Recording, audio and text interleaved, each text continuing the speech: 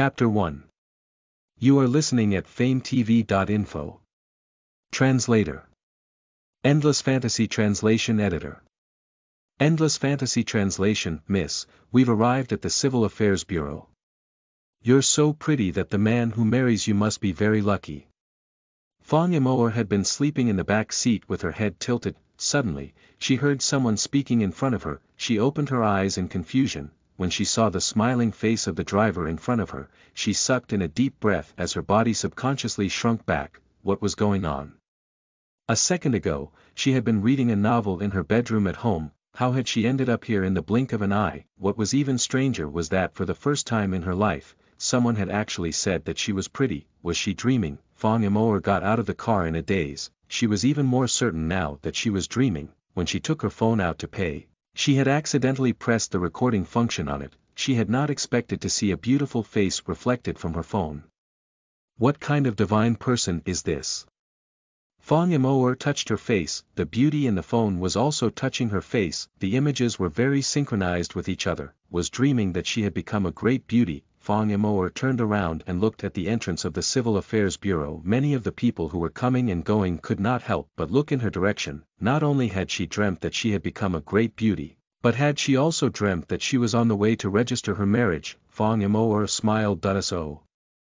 Who was the groom then, she looked left and right, eager to see what her dream Prince Charming looked like, since she was so beautiful here, surely her Prince Charming matched her in looks as well, just as she was thinking about it, a black luxury car slowly approached her from afar, the car stopped in front of her, when the car window rolled down, a handsome side profile was revealed, the man did not notice Fong Yamor who was staring at him.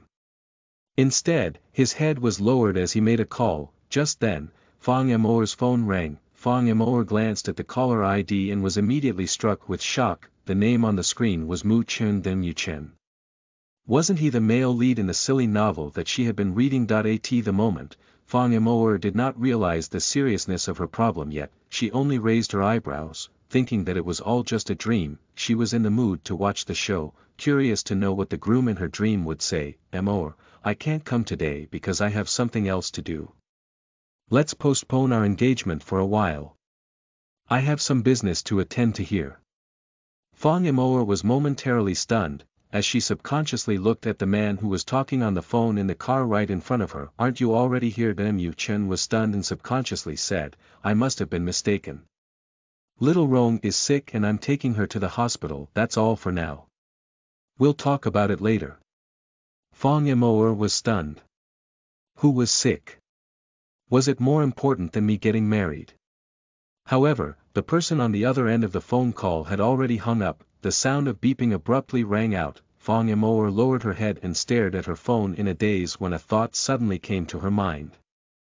Wasn't the person that Mu Chen, the man in the book, really liked called Bai Rong, the novel she had previously read was called, You Are As Deep As the Sea. The male protagonist Mu Chen owned an entertainment company that was in imminent danger. To ensure the flow of his company's funds, he had no choice but to pretend to marry the female lead, Amor.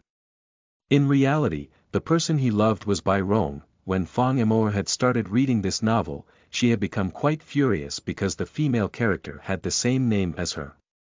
The female character had then given all her assets to the male lead, Mu Chen, in order to pursue him, unfortunately, Mu Chen had gotten together with Bai Rong before they even managed to get married, the wedding had been delayed until the matter had eventually been exposed. By then, Fong Yamor had lost all her assets and she could not bear to see Mu Chen and Bai Rong being so in love. Thus, she had turned into a vicious supporting character and resorted to doing many crazy things, however, in reality, it had been the author who had created this setup for Mu Chen and Bai Rong as a way to reconcile their feelings, the female lead Bai Rong would always be saved by Mu Chen in times of crisis, and the relationship between the two became even more intense that I in the end.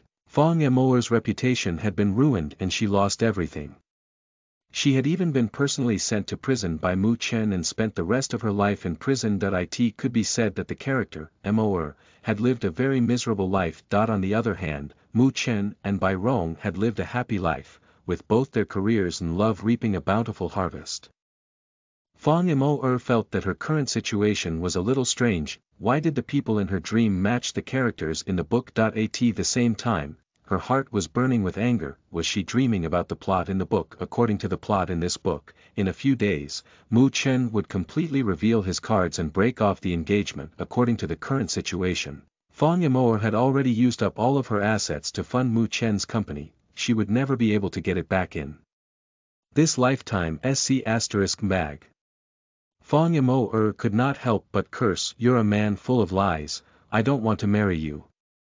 She did not know how a man with a such bad outlook on life could become the male lead. He had used the money from the female supporting character to be with another woman. I in the end, he had not regretted his actions at all and had mercilessly sent Fong Yamor er to prison, did you just say that you're not getting married?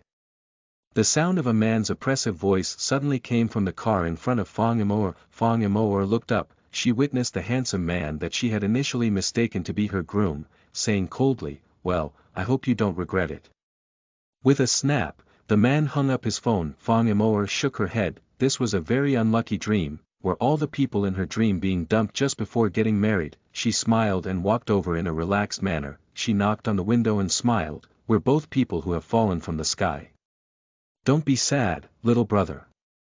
Those who have been lost are all people who are not worth it. There will be better ones in the future. Fong Yamoa knew very well that this dream would end very soon, that was why she had spoken so freely, the man in the car put away his phone and raised his head, his eyes met hers. At that moment, Fong Yamo felt as if the noise around her had been silenced, she fell into the man's dark eyes, she could not help but gulp. He was so handsome, Fong Yamo would completely believe it if he was an A-list celebrity, this was a face that looked as if it had been carved by God, every part of his face was perfect, Fong Yamo's heart skipped a beat, she stared at the man in front of her. Her thought was that her brain cells were extremely strong, she could not believe that she had managed to dream up such a perfect man, the man coughed, which brought Fong Imor back to reality, suddenly, there was a click as the car door was opened from the inside. Fong Imor stood rooted to the ground, the man got out of the car and approached her. Listen to the full novel at fametv.info, direct link in the description.